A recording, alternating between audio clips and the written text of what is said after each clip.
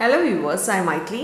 இன்னைக்கு நம்ம twelve CBSE maths இன்டெக்ரல்ஸில் எக்ஸசைஸ் செவன் பாயிண்ட் ஃபோரோட செவன் ஃபோர்டீன் சம் இந்த வீடியோவில் பார்க்க போகிறோம் கொஷின் பாருங்கள் integrate one by root of eight plus three x minus x square டிஎக்ஸ்னு ஆயிருக்கு இப்போ பாருங்கள் இது வந்து மேலே வந்து ஒன் இருக்குது கீழே பார்த்தீங்கன்னா ரூட் ஆஃப்னு சொல்லிட்டு ஒரு குவாட்ராட்டிக் ஈக்குவேஷன் இருக்குது ஸோ இந்த மாதிரி one by root of quadratic equation இருந்துட்டாலே நம்ம குவாட்ராட்டிக் ஈக்குவேஷனை ரொம்ப ஈஸியாக சால்வ் பண்ண முடியும்.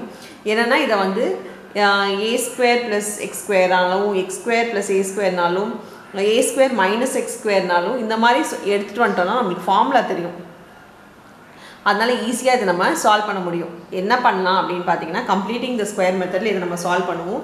கம்ப்ளீட்டிங் த ஸ்கொயர் மெத்தட் நீங்கள் ஏற்கனவே டென்த்தில் படித்தது தான். ஆனால் அது ரொம்ப ஈஸியாக அப்படி போடலாம் அப்படின்றது நான் சொல்கிறேன் இப்போது எக்ஸ் ஸ்கொயருக்கு முன்னாடி மைனஸ் சைன் இருக்கக்கூடாது. ஸோ அது நான் இருக்கக்கூடாதுன்றதுக்காக மைனஸ் சைன் நம்ம ஃபஸ்ட்டு காமனாக வெளில எடுத்துடலாம். ரூட் ஆஃப் எயிட்டு மைனஸை காமனாக எடுக்கிறேன். அப்போ x square minus three x ஆகிடும் டிஎக்ஸ் ஆகிடும் இப்போது இது எதுவுமே இல்லாமல் இது நம்ம completing the square method solve பண்ணோன்னா எந்த சேஞ்சஸும் கொஷினில் பண்ணாமல் x square minus three x இருக்கா?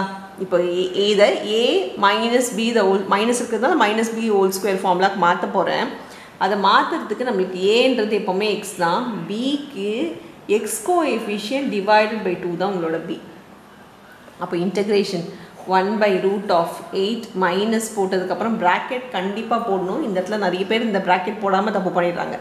இந்த ப்ராக்கெட் போட்டிங்கன்னா ஏ மைனஸ் பி உனியமாக கண்டுபிடிச்ச பி எழுதிக்கோங்க. இந்த ஹோல் ஸ்கொயர் எழுதிக்கோங்க.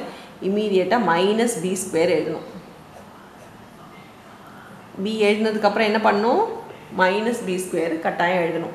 இப்போது integration one by root of eight minus இந்த மைனஸ் சைன் உள்ளே கொண்டு போகிறேன் x minus three by two the whole square ஆகிடும் இங்கே மைனஸ் இன்ட்டு மைனஸ் ப்ளஸ் ஆகிடும் நைன் பை ஃபோர் ஏன் இந்த ப்ராக்கெட் போடணும்னு சொன்ன ரீசன் இது தான் ப்ராக்கெட் போடலன்னா இந்த மைனஸ் சைனை இதுக்கு எடுத்துகிட்டு போக மறந்துட்டாங்கன்னா இந்த ஏ கண்டிப்பாக நம்மளுக்கு தப்பாக வந்துடும் ஸோ மைனஸ் ப்ராக்கெட் போடணும். ஏன்னா பின்னாடி இருக்கும் போது இங்கே A square minus B square நம்ம கட்டாயம் எழுதணும். இது மைனஸை உள்ளே கொண்டு போகணுன்றத ஞாபகம் வச்சுக்கோங்க. இப்போ இது எல்சிஎம் எடுத்து சால்வ் பண்ணலாம். இது எயிட் ப்ளஸ் நைன் பை ஃபோரா இப்போ எல்சிஎம் எடுத்துனா eight ஃபோர்ஸா thirty two thirty two plus nine by four ஆகிடும் அப்படின்னா இது ஃபார்ட்டி ஒன் பை ஃபோர்னு ஆகிடும் ஃபார்ட்டி ஒன் பை ஃபோர்னால் ஏ ஸ்கொயர் கட்டாயம் ரூட்டோடு தான் எழுதணும். ஏன்னா ரூட் ஏ ஸ்கொயர் தான் எழுதணும். அப்போ நான் இது என்ன எழுதுவேன்னா ரூட்டு போட்டுக்கோங்க. ஏக்கு பதில் ஃபார்ட்டி ஒன் பை ஃபோர் வந்தது இல்லையா? அப்போ root forty one by two the whole ஸ்கொயர்னு எழுதிக்கிறேன். ஏன்னா forty one by ஃபோரும் root forty one by two the whole ஸ்கொயரும் ரெண்டுமே ஒன்று தான் minus x minus three by two the whole square dx இப்போ இது A square minus x square ஃபார்மேட்டில் இருக்கா? ஏ அப்படின்னா இதோட ஃபார்முலா என்னது? Dx by root of A square minus x ஸ்கொயருக்கு sine inverse x by A plus C so இதை sine inverse x by a plus c எழுதுனா போதும். ஸோ சைன் இன்வர்ஸ் எக்ஸ் பார்த்தீங்கன்னா x minus three by two இருக்குது plus ஏக்கு பதிலாக root forty one by two இருக்குது இப்போ நம்ம எல்சிஎம் எடுத்துக்கலாம். எல்சிஎம் எடுத்தோன்னா sine inverse two x minus three by two இருக்கும்.